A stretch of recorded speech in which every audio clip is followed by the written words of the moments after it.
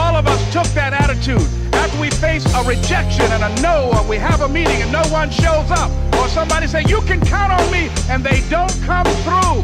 What if we have that kind of attitude? The car's repossessed. Nobody believes in you. You've lost again and again and again. The lights are cut off, but you're still looking at your Много лет стремился именно попасть в Рубин обратно. It's not over until